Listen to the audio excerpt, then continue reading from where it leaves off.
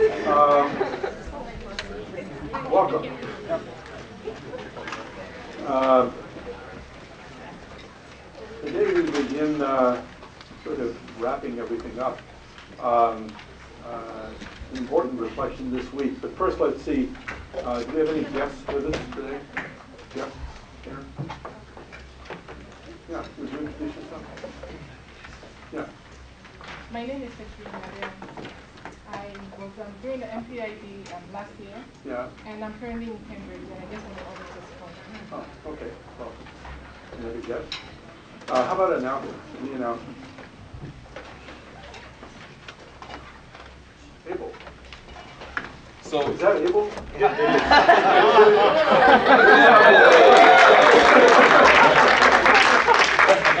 this is incentive to wear Abel's sweatpants every brother, day. huh? and then like surprise everybody. Uh, so I just wanted to make a second announcement about the reflection book. Uh, we're gonna send that email out today. That email will have a link to a, a, a Google Doc for you to upload pictures to, and also a Google survey for you to upload all your quotes and, uh, and, and different things to. So please get to it. Uh, we really need all your feedback to make this reflection book uh, happen, and we're gonna all be able to take these memories with us once we go. So that's gonna go out today, and so please, uh, you're gonna have until uh, midnight next Wednesday to be able to turn everything in. So uh, just want to make that announcement for you all. Other, other announcements, uh, things people would like to share? Yeah, Nick? Um, if anyone's around Thursday from 5 to 7, um, a bunch of the workers who are leaders at the hotel and students who are involved slash interested in the campaign, we're having a picnic from 5 to 7. Um, it was going to be a barbecue, but then we like didn't have a barbecue. Um, so it's going to be just out there in JFK Park. So like 5 to 7, feel free to just drop in and say hi to a worker or, or like one of the other students. Um, if you can bring something to eat or drink, that'd be cool. If not, that's fine. Thank you. And is anyone here on the Kennedy School student government? No, just check the Oh. face. Hmm, well, that is, no, okay. Other, yeah, Uh, So there's an event at the Ed School next Tuesday, that is 29th April, from 6 PM to 9 PM. It's about how education offers opportunities against sexual violence prevention. So more about what can be positive reinforcements to prevent, even before preventive sexual, uh, against sexual violence. So please come, all, everybody is welcome, It's- it's at the Ed School, but it's open to all Harvard schools. This is my organizing project. great, good luck. Other, other, yeah, Um, next Wednesday, April thirtieth, from ten thirty to twelve in Gutman. There's gonna be a discussion, uh, candid conversation with lots of different folks from the school around gender and leadership at Hudson and beyond the education sector. So talk about women's experiences as students, um, at the ed school and also, um, as leaders, being prepared as leaders. So everyone, all genders are invited, everyone is welcome. Uh, yeah. thanks. Other, other announcements? I'm organizing an international film coming from Cambodia. Um, we're screening it on Thursday in Lowell and Friday in Boston at the Paramount Theater. It's a movie about a man who's been deported from the United States to Cambodia and his journey, um, and he's an artist, so his story. And also next Thursday, May 1st, is International Workers' Rights Day. And there are large um, actions and rallies happening. There's one that's happening between East Boston, Chelsea, East Chelsea, East Boston, Everett, and Revere, and starting at 4 p.m. If you want more information, you can let me know. And I've also, I'll also post it on our Facebook group. Good. You want to tell us about your town? Didn't you have your peak?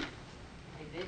Yeah, so, Um, well, it was it went amazingly well. Uh, so my peak was the La Vedas conference. It took place um, a week, about a week ago, in the David Rockefeller Center for Latin American Studies. Uh, we had about over 70 Mexican students from like over 25. It was actually 29 universities, and it was really I, I think for me, in terms of uh, reflection, um, I really learned um, not to be the dot, and it was something that I was really trying to learn from take away from this class. And something that was very telling was um, that I got asked by team members to be the timekeeper for the event, and that was my main responsibility. So had I not been there, guys, it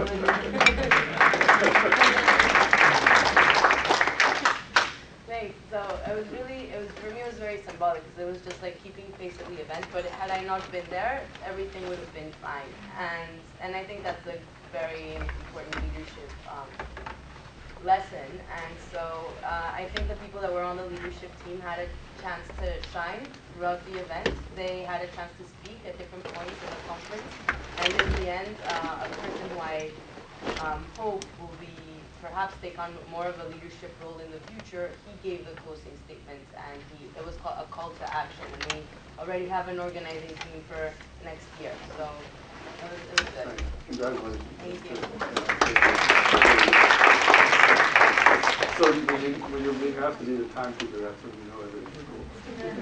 No, That's great, that's really good. Any other, uh, anything else anyone would like to share?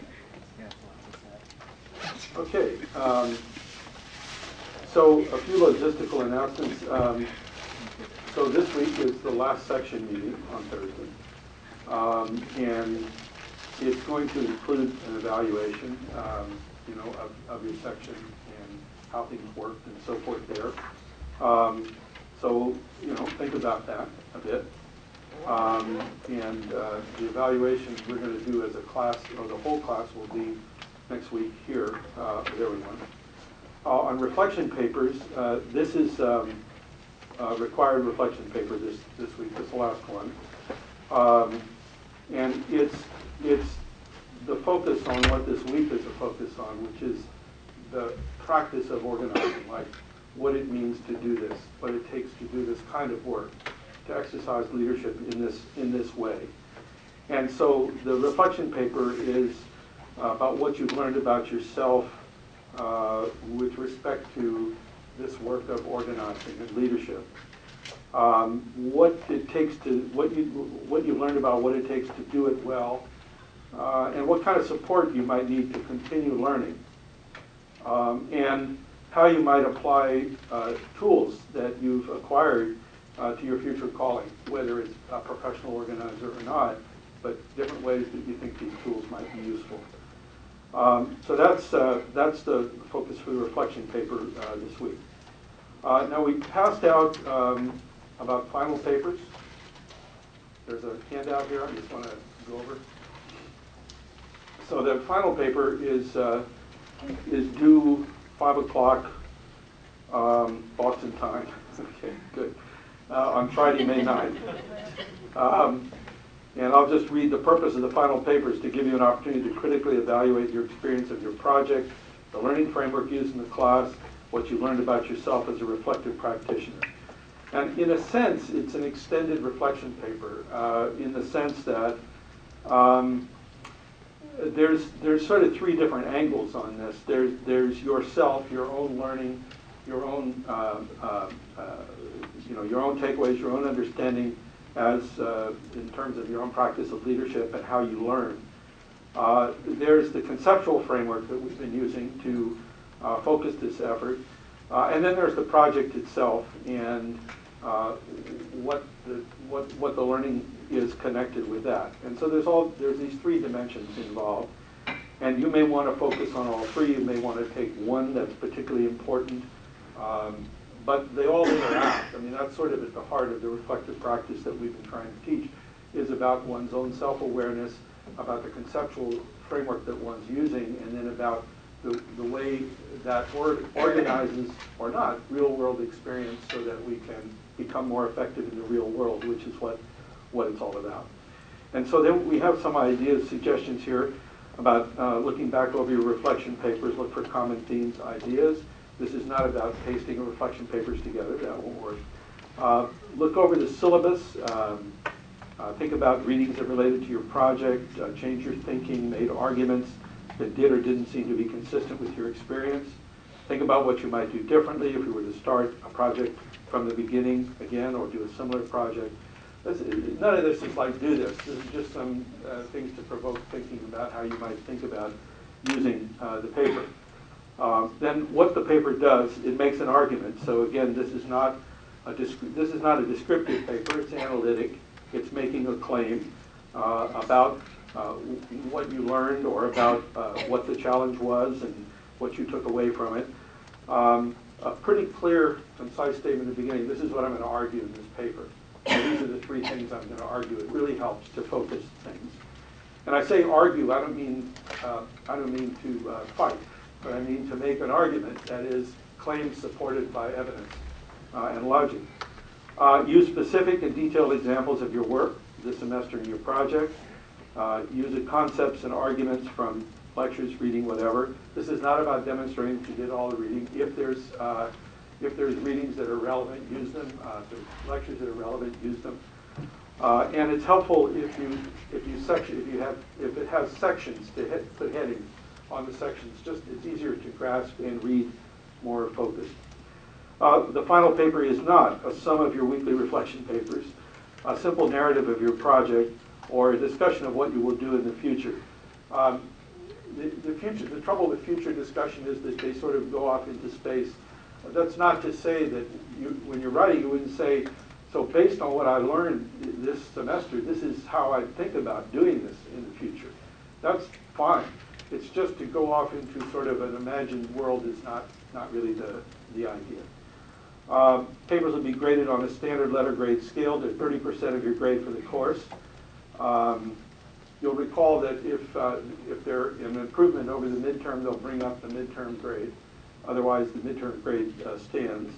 Don't need to reference any other readings. Uh, Seven pages of text, double spaced with 12-point font and one-inch margins, please. Um, Number your pages, and if you go over seven pages, uh, it'll cost you in terms of grade. Um, Images go over, I mean, images don't count, we like images, okay. So Wednesday, um, now, oh yeah, last thing. Um, If you want to get some feedback on what you're thinking about writing about, um, you can write up a paragraph. This is what I'm thinking of doing in this paper.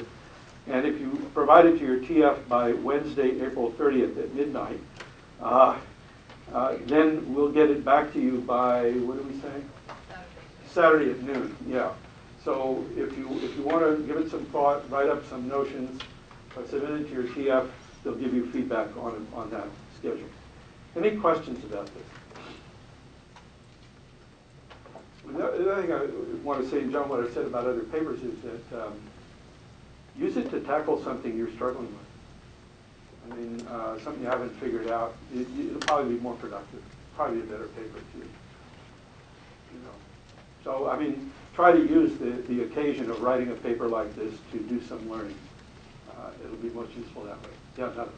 Um, I remember in one of the first classes, we read two uh, cases from like last year's class, like two different organizing projects. Should we look at those as potential like models for the final paper, or was that? No, those were just, those were just um, cases written up specifically to show what a project, yeah. But not, not, they weren't reflection papers, no. Other, other questions? Okay. um, So, in terms of the rest, what we're going to focus on today, does everybody have Jonah's little journey here?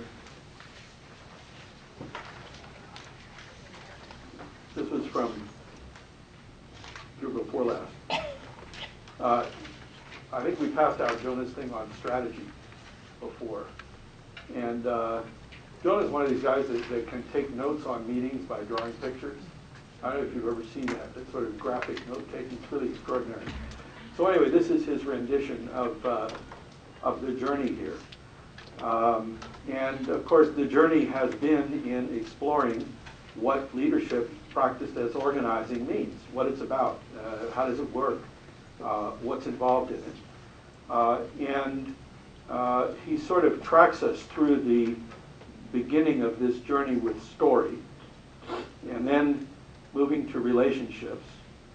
Um, And then, now that they're happily joined there, they're happily they're in relationship. Uh, Now, they seem to have reversed strategy and structure, because we did structure first, but I guess they're eager to get right to strategy, so there they are. Uh, And then structure, and you recognize some of the elements there. uh, and then action. Uh, And of course, there's a peak event there at the end and a contrast between things as they ought to be as opposed to things as they were. Anyway, uh, that's kind of the journey that we've been on, is exploring each of those different uh, tools, how they fit together. Uh, Then in the end, looking in terms of cases and your projects. So the question today really is, so what's your takeaway in terms of what, or your takeaways in terms of what doing this work well is about? Um, What have you learned about that? Um, You know, you've had a semester of experience with us. Uh, What do you think it takes to, to do this, to exercise this kind of leadership effectively? Um, What's most challenging about it and how can you deal with those challenges? And you're experts on this now. Mona? Unfortunately, um, I think that the main thing that I've realized is that we are the problem. Something is bad out there, it's not because there are bad people. There, of course, there are some bad people, I was wondering where this place is. No. but I think that it is our problem. We don't, uh, we don't have agency, and we, when we do, we don't want to uh, uh, uh, deal with each other. Um, and uh, when we do, and the opportunity comes out, we start to have these very silly, uh, trivial uh, disagreements that could blow up the whole thing. For no reason, I mean, it's, it's very interesting, I mean, to, to watch it.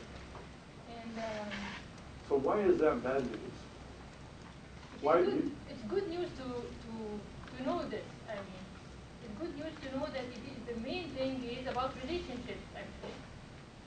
And it's about uh, managing own self and, and see what am I doing and be really mindful of what I'm doing and purposeful of what I'm, I'm, I'm dealing with people, how am I dealing with them, what I'm telling them, what I'm uh, listening to them. Be purposeful about the whole thing and to be serious about changing it, really, really serious. So, so what have you learned about how to do that? Or anybody? I mean, Mona's put a challenge out there. She's saying, you want to change the world, you got to focus on yourself first. There's a lot of wisdom in that. Uh, you know, because while challenging, it's also uh, constructive. I mean, because maybe we don't control the whole world, but we have a little more to do with ourselves. Yeah. Um, I think for me, uh, just an, an amazing and like life-changing shift was actually uh, listening, like learning how to listen, and knowing that the answer really lies within teams. And I think here it's outlined quite beautifully in, in the staff, where it's a person that begins alone, but then there's people and that get harnessed, and uh, you know, and, and then there's a team, and then there's action. And so I think if people learn to listen to themselves, like uh, to the group better, and build off of what other people say and push that forward. Um, I think that's really where the organizing change begins. Have you found ways to do that? Asking questions and not giving so many, and not thinking I have the answers, but really like ask, learning how to ask questions. And I think it's also about uh, being true, tr- trying to understand who we are and look at our, you know, where we can improve and if we have arrogance, and I know I, I have a level of that, trying to be conscious of it and trying to make ourselves better for the group and for what we want to do. No, what other people think about this? And starting off by a lot of self-reflection there on the kinds of things we need to do. Of course, sometimes the thing with these things is they're, they're, they're, they're easy to describe, but they're pretty challenging to do. And so part of it is how to actually turn this into practice, make it, make it real. I think it's one of the big challenges, yeah. I like I've gotten checked a few times in this, like over the past few weeks around like empowerment, you know, power at the margins, like there is power there and that like organizing is around creating opportunities for where people already feel powerful to kind of like expand that rather than like, this is where I feel powerful and I'm inviting you into like my structure of power and that you can learn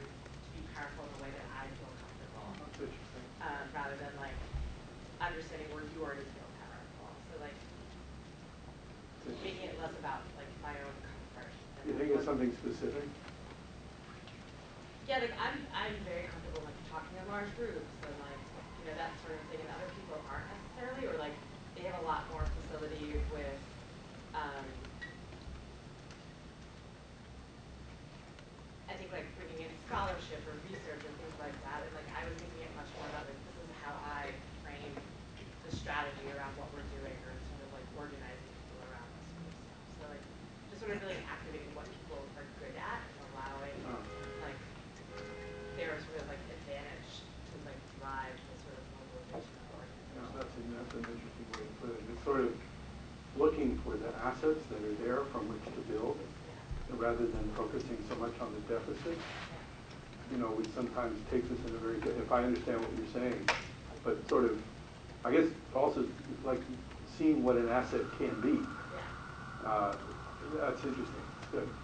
Yeah, I wanna, I'd like to ask a question slash offer a contrast to that, and I'm Good. thinking out loud. Um, is that, on the one hand, I think it's very important to take yourself out of it, but on the other hand, to model what it means to, Right. for that agency that you were talking about, to do that sort of thing. Um, and kind of, I've been asking myself a lot of questions about where you need to model, and not even give an answer, but yeah, put something there, and when you need to create the space to let the other people bring it, and where that's done in my what do you think about that? um, I feel like I'm still at the beginning of my project and I'm tremendously struggling with that. Um, especially, yeah, I don't know, especially because I'm walking out of the group as they're still developing and I'm kind of, I envision that I can leave and they can do this by themselves. And they're Yeah. like, no, you, we need some, not necessarily me, but we need a leader who's gonna hold that space. Um, and that's, that's a question that I wonder about, I, I wonder about, and I would, yeah, hear anyone's thoughts on that. I'm just thinking, oh, everyone can facilitate a different piece, and they can build a structure together because they all care. But until I came and said, let's do something, they all wanted to, and they'll have it within them, they have the power, and I think they know that, but they need something, or they feel like they need something or someone to help them bring it out. Well, it's a, it's very well put. I mean, I think it is very challenging what you just described. Yeah, I don't think there's a, yeah. I also liked, um, in terms of the relationship with other people, the concept in the I was reading about the allies versus confidants, because I've definitely found myself blurring that line, I think, too much in my project, and I think it's important to acknowledge when you have moments of self-doubt, but I sometimes project that onto the group, which I don't think is necessarily Uh. helpful, so it wasn't until I actually read that that I was like, oh, that's what I've been doing. I Think about that a little bit more, but I think that's, it gets back to some of the, um, the personal versus professional relationships, I think, was also something I kept coming back to. Yeah, that's a great point. Uh, one of the hardest things is when you're, you are feeling anxious to not project that onto everybody else, and so then you have a whole bunch of anxious people instead of just one. And sort of how you manage that, to be there in such a way that you're moving it in a different, I think that's one of the really challenging pieces, I think, you know, when it comes to self-management and leadership and modeling and all the rest of it. So is there a point of here? No. Yeah, what, what else about this? I mean, this, I don't know if anybody's got your thing figured out. No, because I mean, you know, th- there, there are folks that, you know, want to take the initiative and, and, and there's, there's spark and, well, we call it the bright eyes or whatever. I mean, there's sort of like, you're looking for people. Uh, I think all the time, but, yeah. Um, I was gonna mention just the idea that when we first were sort of starting class and we were all talking about like the fear of like starting, like how that fear kind of keeps creeping up. In the sense that I feel like whenever I'm about to sort of, you know, do the next mini peak, like I also have to sort of like grapple with like the fear of like asking people to do more or um, or sort of, you know, making a certain suggestion or sort of um, you know, thinking about it within a certain framework. But it, it, it's sort of like that fear is kind of constantly creeping up. Towards like there were one there was one point where I felt like were pretty well. Whereas like now it's like I kind of feel like I'm almost like back to that mode and I'm trying to like get back to flake flaking snowflake mode. So just like realizing that the, the battle, like the internal battle for me is like been constant in a way that um, I guess I didn't anticipate at the beginning. And how, you know, from the stuff we read today, just how folks kind of through their teams like kind of got the energy and sort of perspective that they needed to kind of keep on. This sound familiar, what Julian's talking about? Very familiar. Somebody got it figured out? No, I, because, but I mean, I think what's so wise about this is, is to appreciate that, yes, this happens. So how do you build in structures or relationships that move you through it? Because you're not gonna be suddenly a perfect person.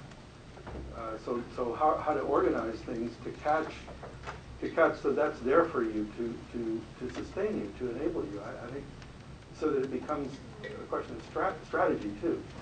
How do I, how do I strategize to anticipate that this will happen and be able to move through it?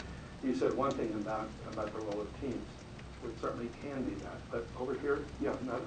Yeah, I guess just going back to like the last couple of comments, I mean, yeah, I think from the beginning, my main struggle has largely revolved around like having such apprehension about becoming a dot that I like didn't step up to the plate until kind of fairly late in the game. And I think Oh. the big lesson for me from that was that even if you have identified that people have these shared values and they already care about these issues, like what, you know, what's my, like what am I bringing to the table is a question I think that we, we've grappled with before. And, and I think, you know, I, I was able to get over a stalemate in my own project when, when I got, overcame my own fear about like stepping into the spotlight a little bit to specifically present like a very concrete idea and objective that we could come together around. And that that was actually what like helped us move forward and helped me start to see other people stepping up in different ways because I like, I put something on the table. And, and specifically it was envisioning like the peak event. Like we never had that conversation and initially I was like, let's have a leader, leadership team and like, you know, no one really knew where it was going or what I was talking about. It was very abstract. But I think when, when you set specific parameters, whether it's around time or action or whatever, like you can start to see people moving in different ways that you, you know, might not have expected. So, so now it's, I think, a matter of maintaining that balance, which is, you know, still an ongoing struggle, but I realized that like I needed to, I had something of value to contribute and I don't, and I was just holding back from this fear of like becoming a dot. But I think I to do it in a way that still helps the snowflaking process. And, and what got you over that to where you could do that? Uh, I mean, a lot of it was kind of working through it in section and hearing Yeah. other people go through these similar experiences and, and just getting, yeah, I guess like, yeah, I get, I get, a big, a big part of it, I think, was helpful in knowing that like I wasn't alone with grappling with these challenges and just seeing creative ways other people approached, um, individuals on their team and asked them to kind of get involved, yeah. But you put your finger on what is a clear tension between, you know, uh, proposing and eliciting, uh, between guiding, uh, telling. Uh, It's a different mode of working with people, and there's a balance there, and I think you described it well. It's hard for people to sort of imagine going in a direction that they've never gone before without seeing what it could be. And I mean, and so there is this work of envisioning and, or whether you call it creating hypotheses or proposing ideas that, that's really important for the organizer or the leader to, to, that work to do. Which is not the same thing as now I'm gonna tell everybody what to do.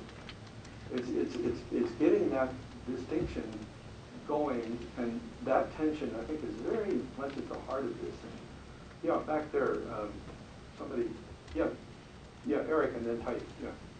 Um, one thing that, that really stuck with me from the Heifetz article was how he talks about, um, analyzing patterns of conflict within the group and patterns of work avoidance, um, to find clues about what's actually going on. And I think that's something I've really struggled with, to try to, to see that the conflict, uh, and the ways that my team are avoiding work, or that I'm avoiding doing Yeah. things, and it's, that it's not about that, it's about something bigger, and trying to, to think why, like why are we having this conflict, or why, um, are my, are my, yeah, why are, are my team members avoiding doing something? Like, is it, is it, it's not about that, it's about something else, and trying to think about that. Has been something I, I think I've been struggling with, like, the whole time. But that's- Getting, up on that balcony. yeah. I was curious, how many people have taken Ronnie's class, Heifetz's class?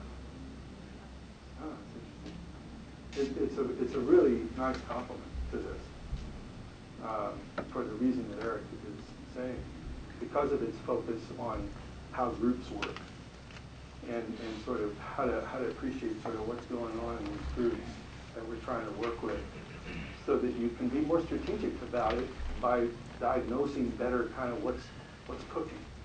So it, it, it, it's, it, it can be a, a helpful perspective, and I, that's I appreciate that article that, or, or that chapter that we ask people to read.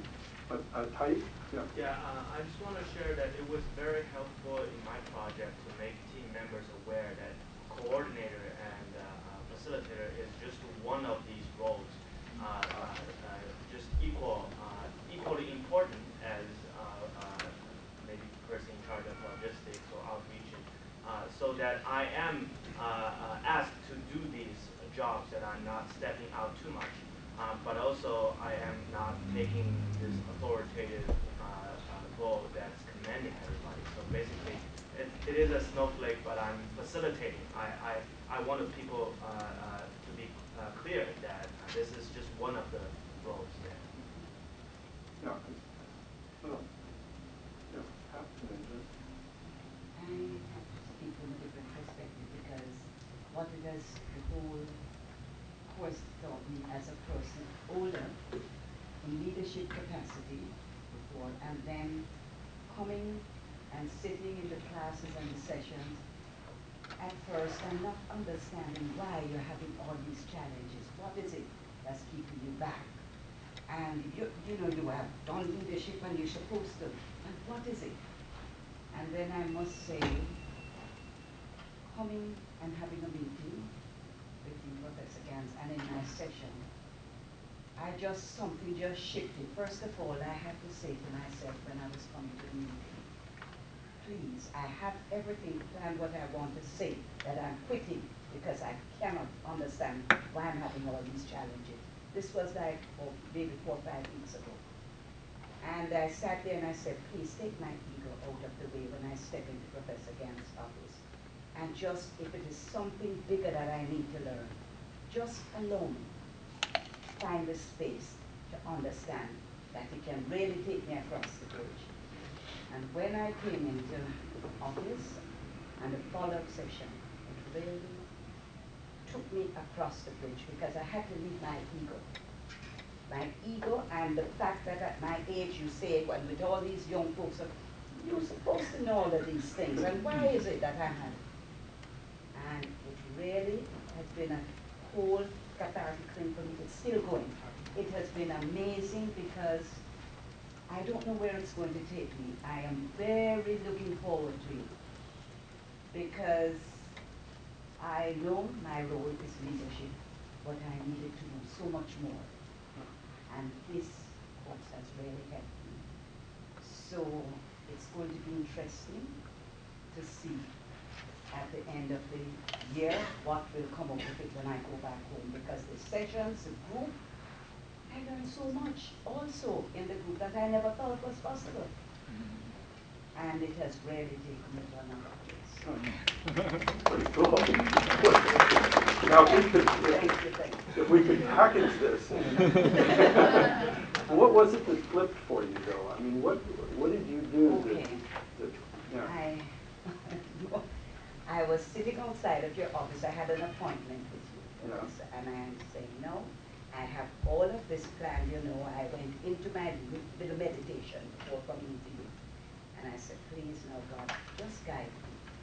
Whatever, although I may have this plan, take me to the place where you need me to go. And I stepped into your office and I loved the space and how you handled it with me just made a shift. Totally shift. I mean, my group know about it because I told them about what happened. Few persons know about it, I've shared it with them. Ember knows about it. It just shifted. Well, I'm gonna have to debrief you and find out what I ah. did because. Really explore it even a little bit more. But really, I told her shift that I know, for instance, writing was never something I enjoyed. I'm writing with this, I mean, I can't stop writing as you have seen it. I'm saying, where is all of this coming from? So, But it, it sounds like you, you, you sort of made a choice to, to open yourself up to new learning. I mean, uh, which, it- which, and, and learning takes courage, because it means letting go of what we know for what we don't know, right? And sort of, so there's this whole dimension of courage and hope and faith that's connected with actually being a learner. And you said to me, you have to unlearn to learn. And that was a, I have to unlearn. So I am unlearning. Boy, I gotta keep on learning because this is, Julian. Um, I, I had a, a question for actually for everyone. Um, just by show hands, how many of you guys have like put your leadership like um, team structure like on a piece of paper or like for display for your team? Like you have like roles, like or you send the email. Um, how, have all you guys sort of put your position first? Because I've always put my position first, but you just made me think about sort of in terms of like how people perceive like who's the leader and who's like like if you put facilitator first all the time, like that sends like a message. Whereas like now I'm thinking like, you know, I've always put facilitator first, like why not put it like in the middle or like at the end or something like that. Mhm. Just because it's like I think that it can do something for people. And I was wondering if anyone had had tried that. Um, It's interesting, it's interesting. Over there, yeah. Um, last night, I was actually doing a meeting with my leadership team, organizing this town hall, and it's a little peak and it's been a little different, but as I was running out the door, I was like, crap, we need roles.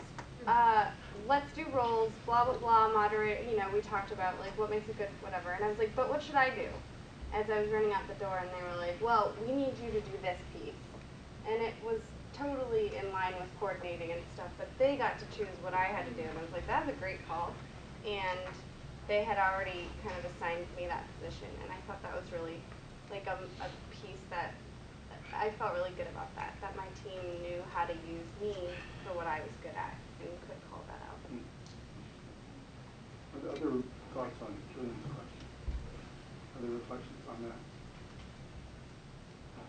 Oh, yeah. I think to the extent that you're partnering with people who are coming from a different place but eager to work on the problem and the challenge that you're confronting, um, acknowledging work that's been done separately, that's being brought to the table, um, can help. So for, for our project, we had, we were starting up circles and there were other circles that already existed but were really excited about coming together as a larger group. And so when we sent out the list of who was working on the project, I, I put those people first because they've been working on it for like a semester longer than I have. Um, I don't necessarily know that made a huge difference, but I think just in small ways that you can picture each of people and the things that they're contributing. Who's, um, who's uh, figured out how to create tension well? You don't have to create it, so it's, What? so it's, it's all over the, it's all over the project, I mean, you don't create tension, it is there, and it's created by, by the change itself, by seeking the change. Yeah. It's created everywhere, by seeking change in myself and the team, and in the situation outside, it's popping up everywhere. So, so who's um, figured out how to uh, enjoy the tension?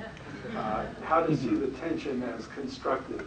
How to see this tension as this great opportunity for growth, learning, and change?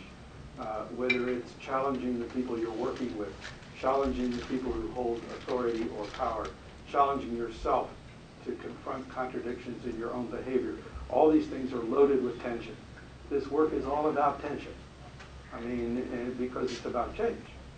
And, and it's also all about conflict. I mean, conflict's not a bad word. It's, it's how life works.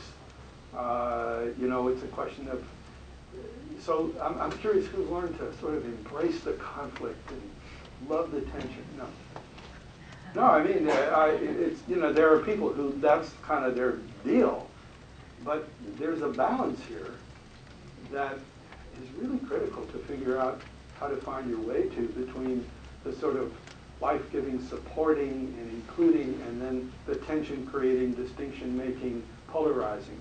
Because both pieces, in, in the Jewish tradition in Kabbalah, there's a, there's a, there, this is described as the tension between what's called chesed and gevura. And chesed is loving kindness, gevura is judgment, distinction. And it's sort of like these two different energy sources is the way it's described, brought into relationship with each other. It's kind of, and there's a, there's actually a, a synagogue in town where they have a banner for one and a banner for the other. That week you're supposed to go in front of the one you need more of that week uh, to balance kind of kind of where you are because there's a recognition of the role of both. That tension one though is a tough one, I think. And I mean, I take your point, Mona, I mean, the tension is there, there's no question about it. And then the question is, do we go toward it or do we run away from it? Or try to protect ourselves from it, or do we figure out how to embrace it and build on it? Let me, see, yeah?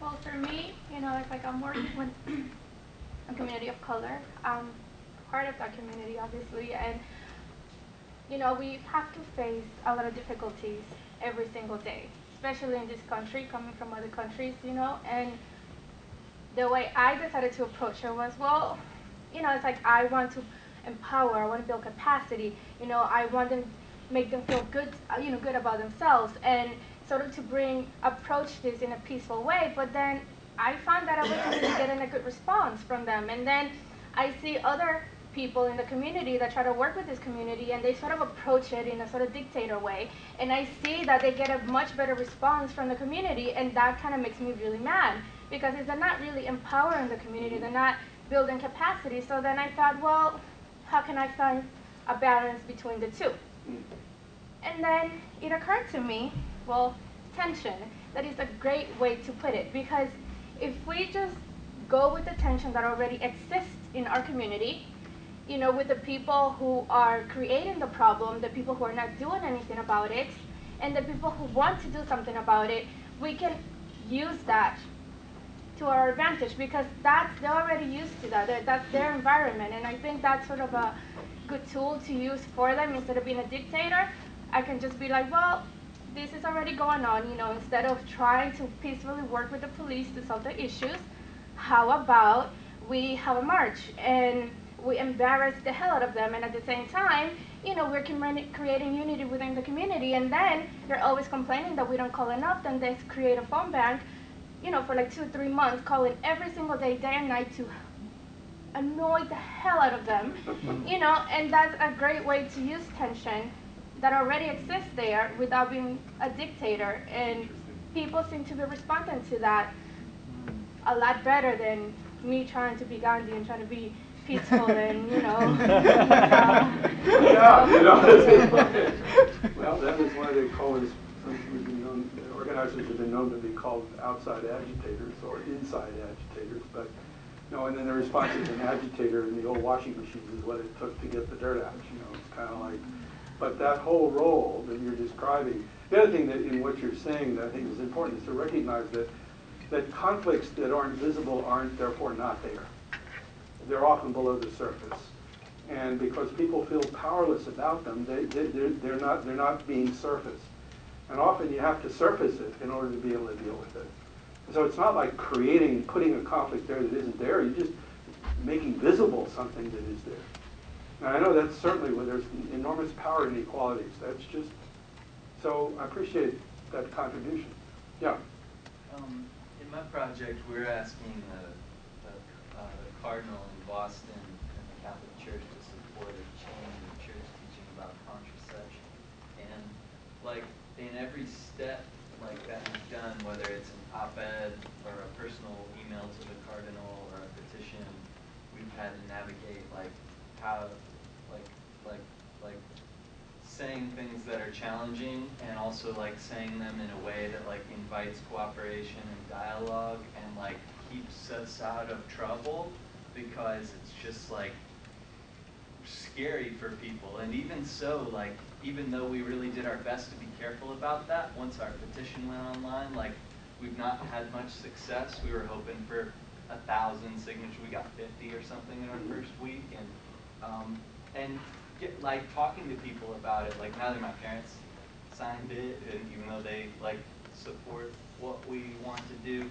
I talked to somebody who works in the church um, um, in a in a petition who signed it, and she said, you know, I signed this petition, and it was a real struggle for me to do that because I was afraid that my name would be identified, and I would I might you know lose my job, and but it was still I still felt really good about like standing up for what I believed in, and so like I don't know, just uh, making that made me aware, I guess, of how difficult it was for people. And like also raises a bunch of questions about everything that we've done, but but also like makes me appreciate even the even um, small things which are really big. Are really big, and it also highlights again, uh, to me, it highlights the significance of courage as central to this whole work. I mean, the courage to learn, but also the courage to act, to declare oneself. You- know, it's risky to make change. Uh, It is.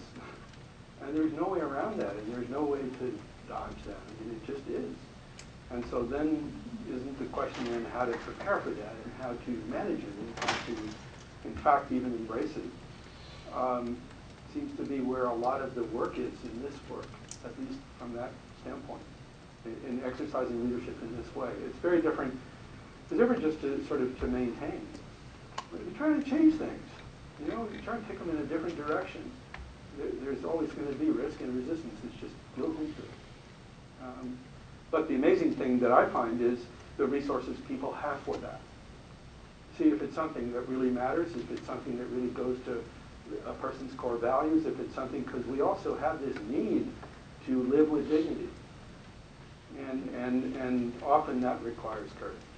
And so then it sort of becomes how to, how to encourage that, you know? So that the tension then is between my expectation that I can live with dignity in the way I'm being dealt with or treated, and therefore I need to fix that. But I also have the capacity to fix it. And I don't know, I, it's, uh, it's a core issue. Uh, yeah. Oh, yeah, I was um, kind of thinking along the lines of what was just said and also Suchi's comment, um, as not seeing the people that you're working with as just people that, you know, oh, this is a constituency or potential member, but seeing them as also a mother or student or, you know, and how those different identities may conflict actually with what you're trying to do and being sensitive to that. I think, you know, we can talk a lot about the dot and snowflake thing, but also remember that as I'm, you know, I can get really tunnel vision, this is me personally, not. Um, but there's times to let that go a little bit if in the real world, you know, someone else is just like, I, I can't be that boldly right now, or, or being sensitive to what's actually happening. And there were points where, um, it seemed like, kind of like Suchi was saying, like I knew what I wanted or, or I had a vision, but um, not being sensitive to how things on the ground were shifting and, and how that really did affect the rest of us. Yeah, it's a constant deal, though, isn't it? Always have to look at that. Um, I, I think sometimes the language of the class kind of like got me out of the reality of what was going on. Like I would see, I would start to see things almost like the Matrix, where like I was seeing Little things snowflakes, little, like little dots. They they all have little happy faces and little dots and Yeah, and um, and I had to uh, wait, no, you know, this is also someone who has full like load of classes and has a, a real life going. So it's, it's also important to recognize, I mean, these, these conflicts, um, of these different roles and different expectations we have of ourselves are within all of us. And, you know, like in, in, say, in union organizing, the conflict that a person may face between um, risking their employment, right, which their family depends on, which their responsibility perhaps as a a breadwinner with respect to the family is a pretty big risk to take.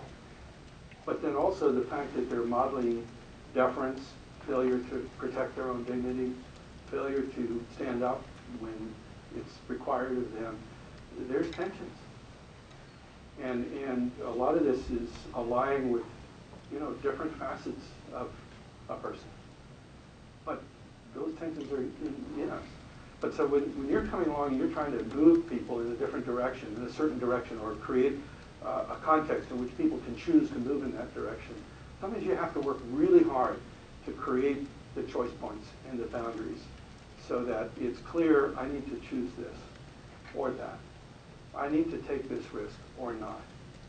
Because making those moments of choice real, um, yeah, nobody may want to rush toward them, but that is part of sort of galvanizing, creating a space in which people can move in a different direction.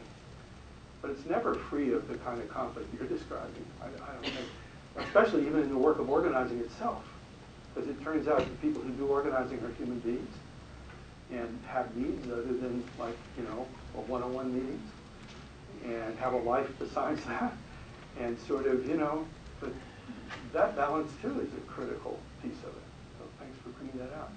We have, yeah, who, there was somebody over here.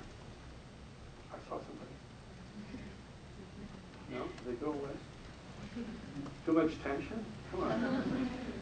Yeah. I was, sorry, lost track of what we were. All right, tension, that brought it back. All right, good, good, good. So, um, my, uh, tension for me is interesting because, um, I, I enjoy creating tension whenever there's trust in the group.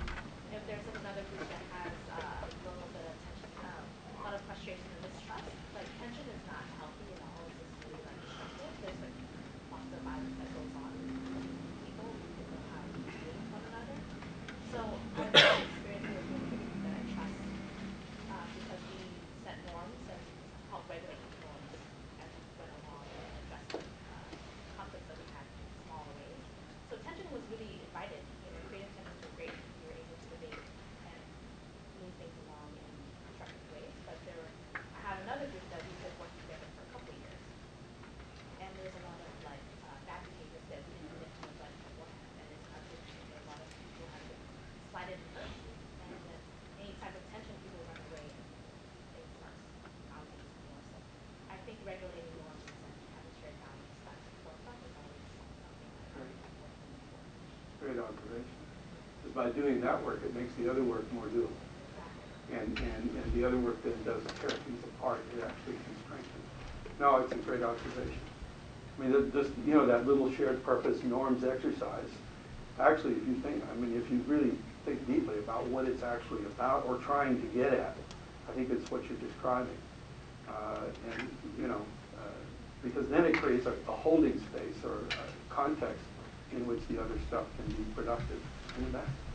Uh, to add to that, I think it's, good to be grounded in the purpose and, you know, norms and expectations because, um, what I learned from is sometimes people create tension or conflict for the sake of it, and it's not necessarily accomplishing, uh, the goal. And the lesson is to try to be intentional when you do create tension, um, to, you know, to make sure it fulfills what it's supposed to fulfill.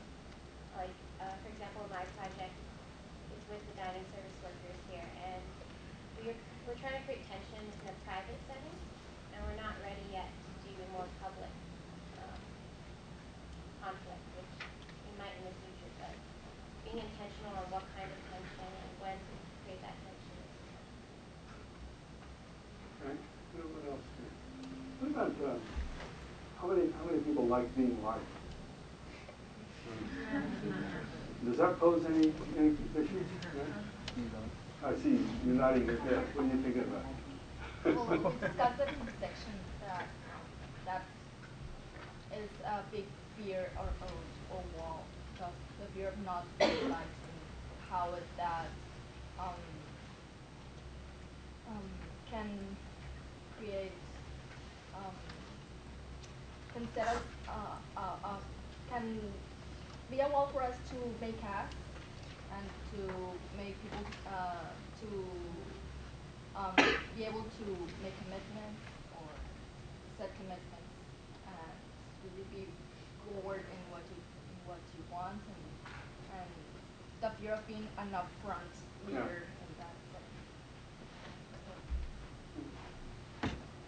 setting. Yeah, I, I think this is, this, this certainly came up in section, especially the week that we talked about the walls of fear and um, fear of, of rejection, of putting yourself out there. And I think one of the things that really helped was thinking about um, like separating yourself from your project and taking things, um, you know, if people are not interested in your project, that doesn't mean they're not interested in you or, you know, don't value you.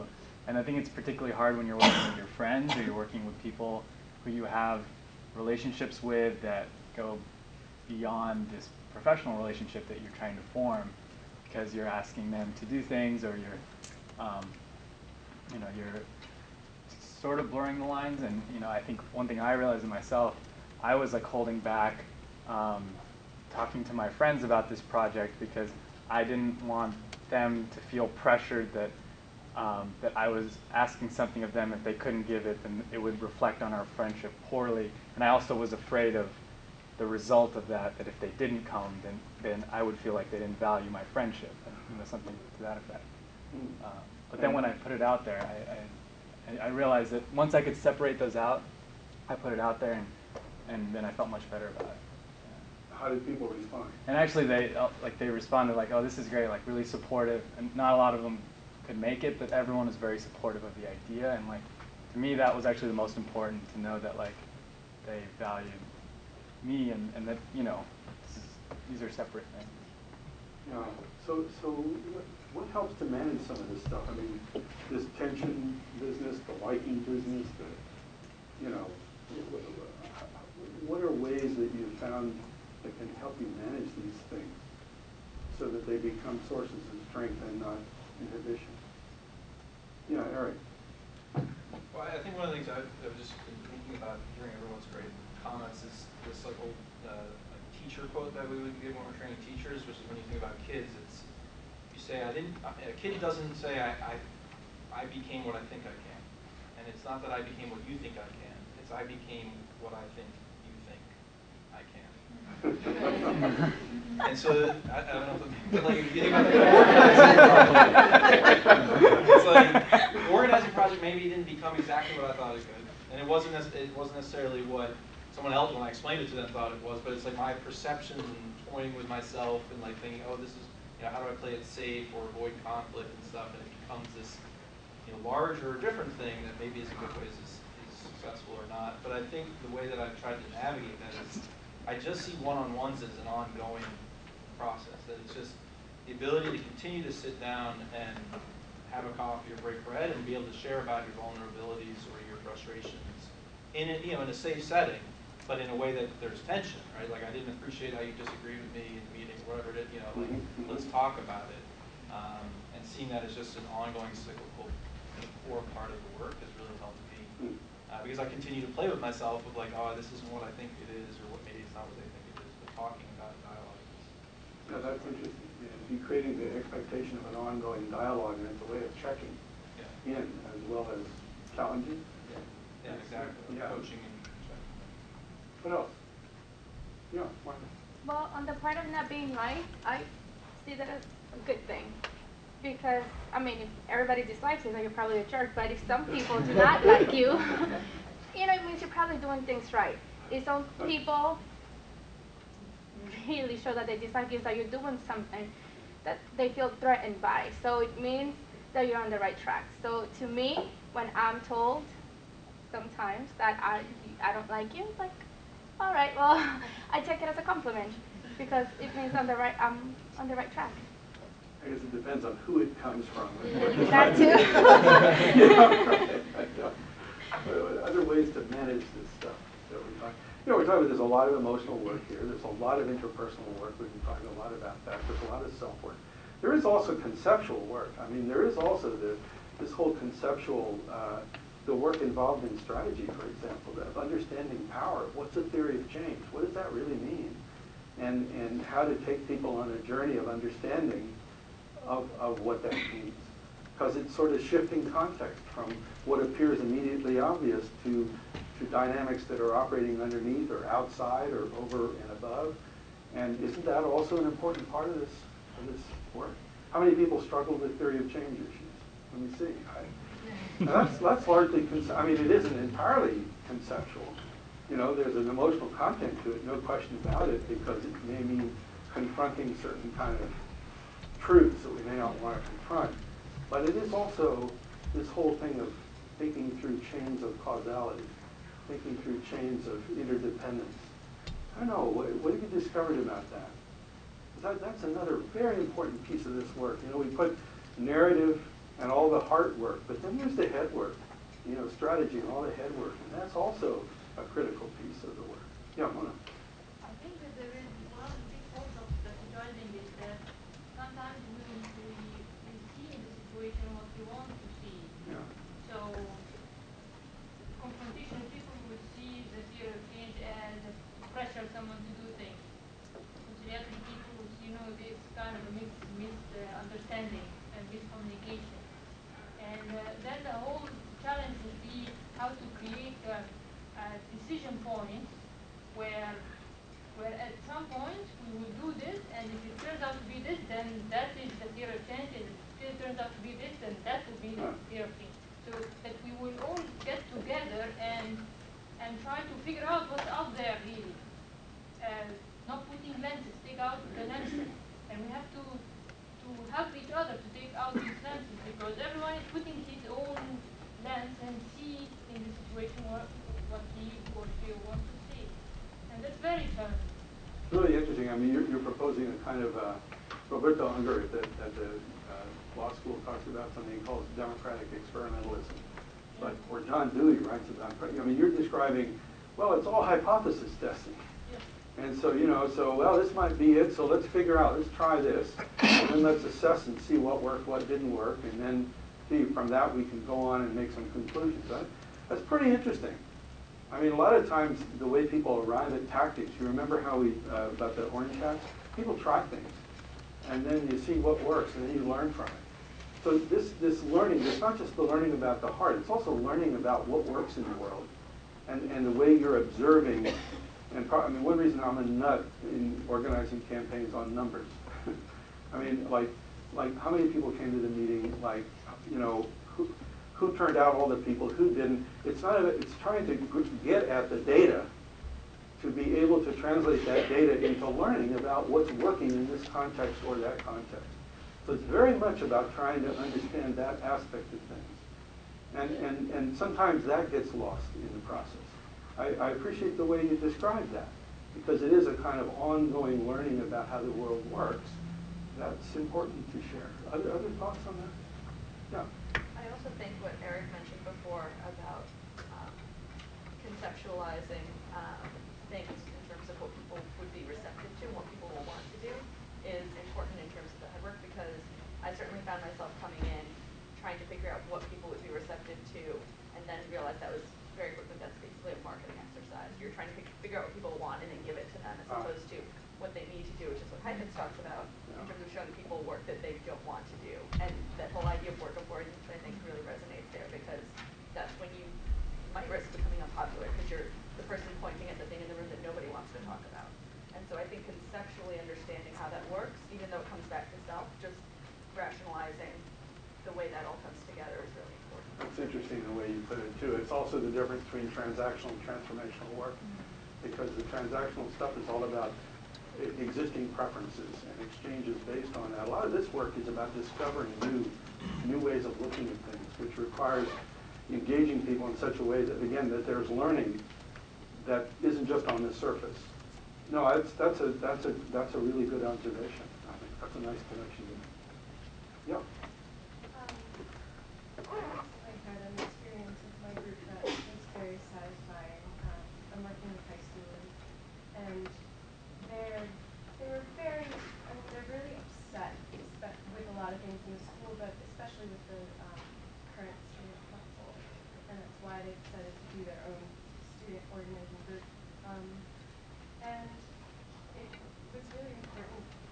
Uh, it, well, I, I did the interests resources exercise with them, and um, through that process, what I thought was really compelling is they were not only able to recognize that they had something in common with not only this group but potentially other groups. Um, they were able to understand what um, elements of this other group had, but from an asset-based perspective. Yeah. And that after reading the Heifetz reading, I, I was really struck by how just recognizing what interests you have in common is another asset to add to that because of the social cohesion it can provide. Um, so I was really excited that they were starting to see what assets they had. That's neat. Yeah, that's neat. And it's using a cognitive exercise to get at something even deeper. The recognition of worth and value, as well as the quote resources, if I understand. Yeah. Yeah. No, that's, that's, a- that's an neat. Um, there's a lot of stuff here, and I hope you'll think about this more because you have had a semester struggling with these things, experimenting with these things, and the whole thing's been an experiment, right? And, and, and, you know, with a lot of data. I mean, a lot of both internal, external experience from which to, to learn and process. A few things that, that, that um, jump out to me about this, uh, this work. Um, One is, is appreciating um, your own power. Um, And I, I mean, I think it's, uh, it's pretty easy these days to kind of lose sight of that.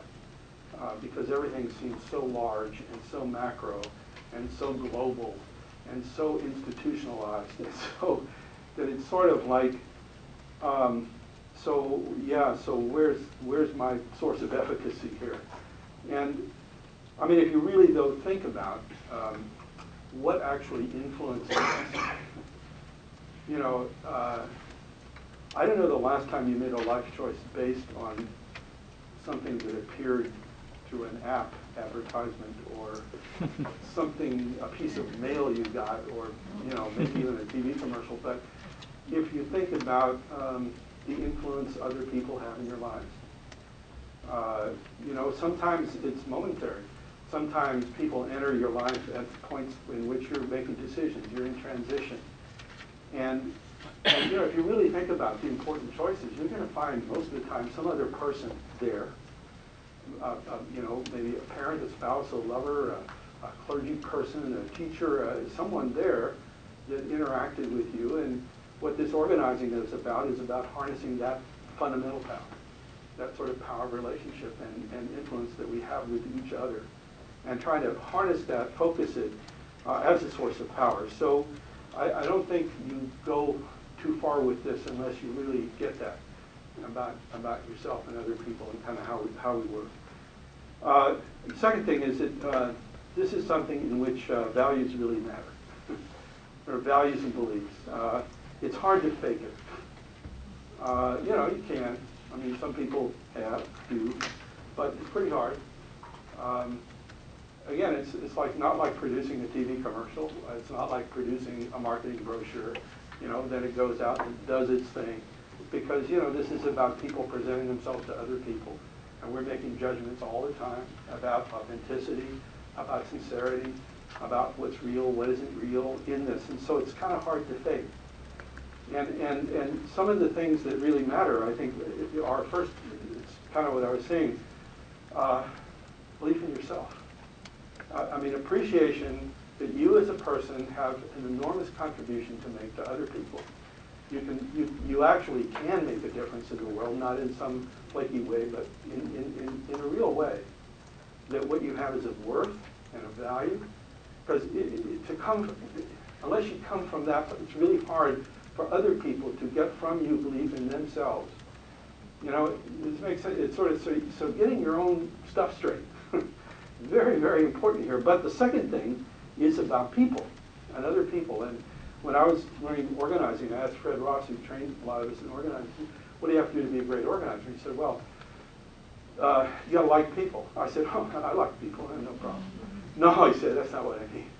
Uh, it's like uh, when they don't show up, uh, when they say they're going to do it and they don't, uh, when things go wrong and they blame you, uh, when on and on, and he went down the whole list. That's what I mean. It's like understanding how human beings, how we are, and that, you know, we struggle.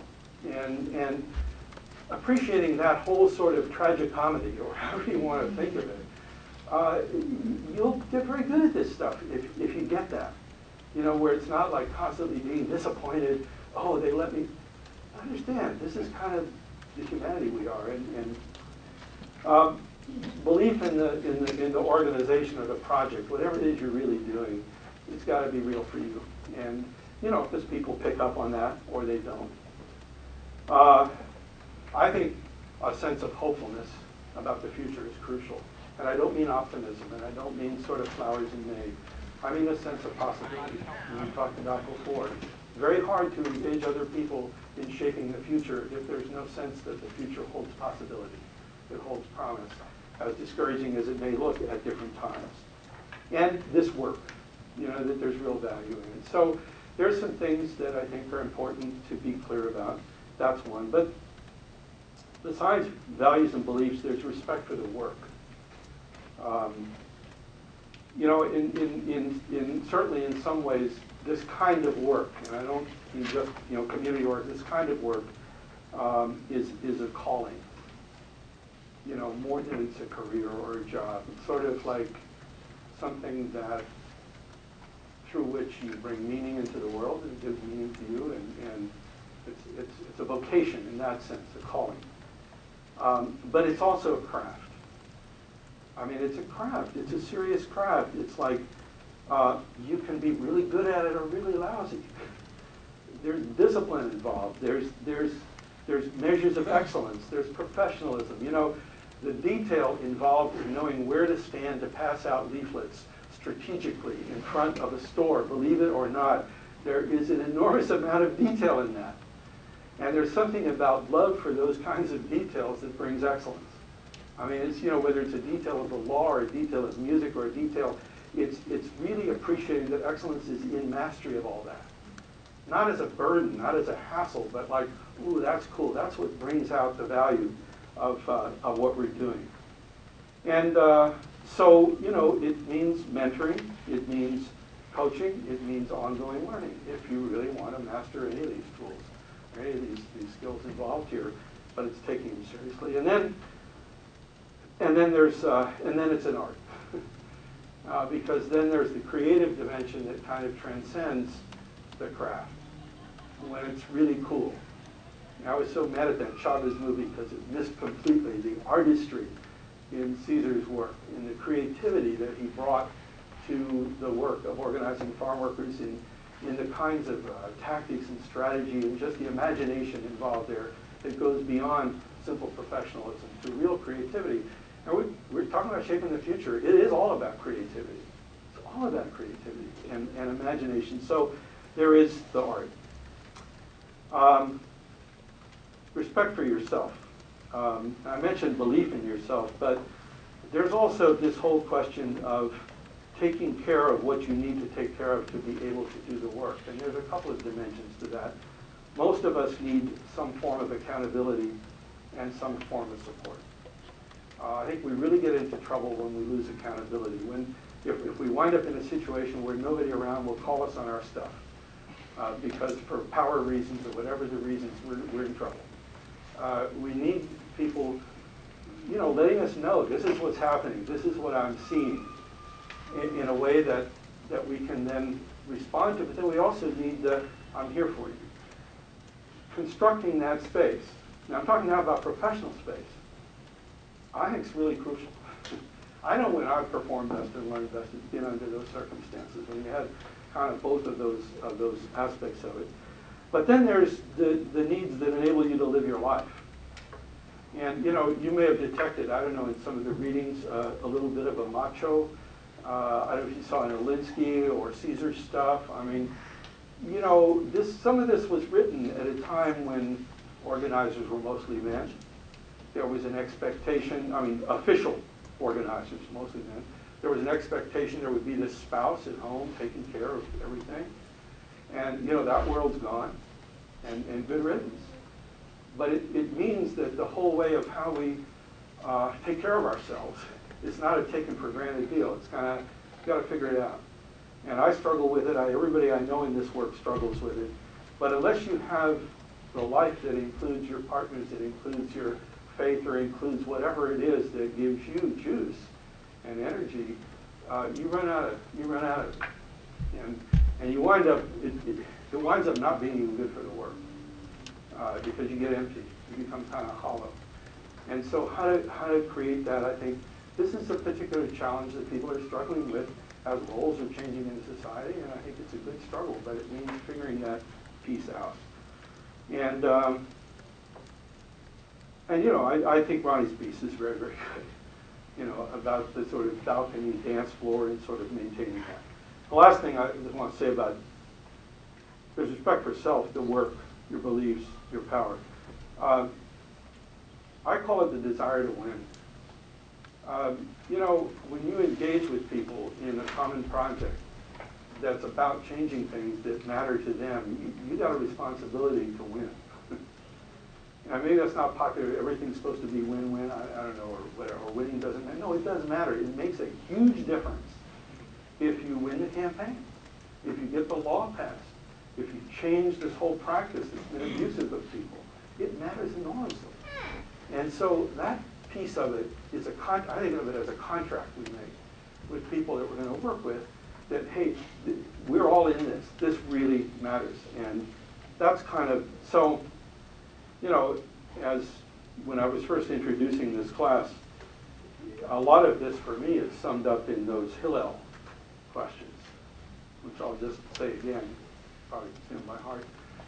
Uh, The, uh, if I am not for myself, who will be for me? And We just got through talking about a bunch of different facets of self, and what it means to be for yourself, to really be for yourself. If I am for myself alone, what am I?